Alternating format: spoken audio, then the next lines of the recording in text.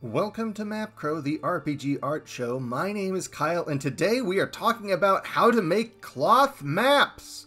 This episode is brought to you by my secret map backers from the Old Roads campaign. The map I'm showing you is exclusively available to those who backed at the secret map level, but I can still show you how I made this map and all the cool features that go with it. You see, under a blacklight, you can see magical runes that are almost impossible to see when the blacklight is not directly on them. The first step is to print out your image horizontally flipped onto some iron-on fabric transfer sheets. Double check to make sure you know which side of your paper the printer is going to print onto. For the map, I'm going to be using unbleached duck cloth, and that is what the image is going to be transferred onto. The duck cloth has already been washed and ironed, and it's completely dry.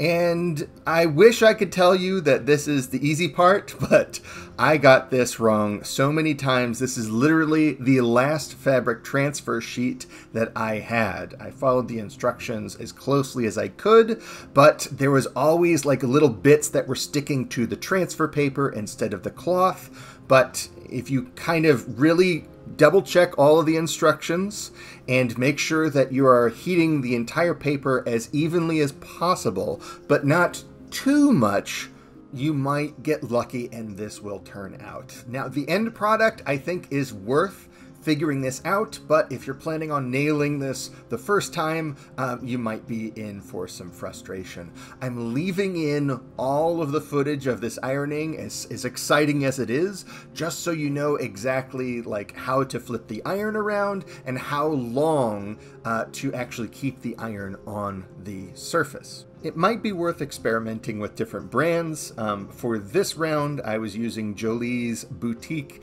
Easy Image. Um, and uh, I wasn't super happy with it, but I don't know for a fact that any other brand is going to do all that much better. It's really important to make sure you get around the edges and not just hit the middle of the sheet so much. Once you're finished, kind of fan it off until it's cool enough to touch, and then carefully peel off the sheet. I hope you have better luck than I did, but when it turns out well, gosh, it, it just looks beautiful there is this coating that has transferred over along with the image to the fabric. It's going to have a very different texture, but this is good because it's if you cut around this texture, it's going to keep the edges of your map from fraying like they will if you just kind of leave the edges of the canvas alone. Now for the cool part, we're going to need some Mod Podge, and the felt of a highlighter marker that has been diluted in warm water. Before you start cutting open highlighters, make sure that they actually react to blacklight. Next, we're going to mix together the highlighter solution with the Mod Podge in about a 1 to 1 ratio until it has the consistency of a kind of runny acrylic paint. Now, it's the nerve wracking part. It's time to stipple on the letters to the canvas with a toothpick. I found that using a brush just wasn't getting me the fine detail that I really wanted to get these letters correctly, so I went with a toothpick instead.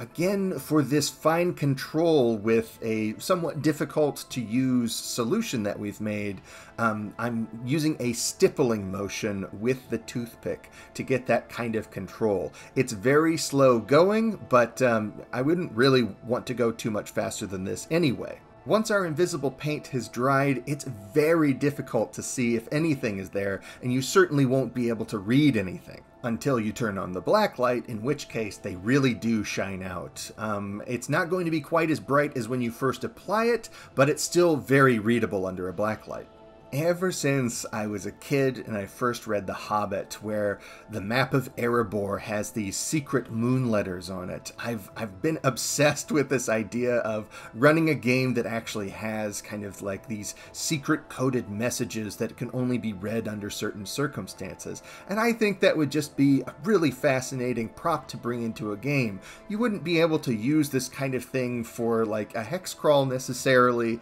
um, because of the, the limits of what you can actually do with iron-ons. But man, if you have just like one specific map that you're doing this with, I got to imagine it would just blow your players' minds uh, once they find out exactly the nature of this map that they've been handling for, you know, a couple of sessions already. When you turn on that black light and suddenly there's a whole other set of clues to uncover that's it for this episode, I think. Thanks everyone for watching, and thank you everyone for helping me reach my goal of getting 1,000 followers. I only started this at the end of February, and already uh, we've kind of reached this milestone, and uh, that just means the world to me. Maybe not the next video, but soon, coming up on MapCrow, I'm going to do a post-mortem on how I ran the Zine Quest Kickstarter for the old roads, and kind of the process for designing all the components, and what maybe I would do differently next time. If you have a topic that you would like me to talk talk about in the meantime or afterwards, let me know in the comments below. So, until next time, maybe I'll see you on the old roads. Farewell.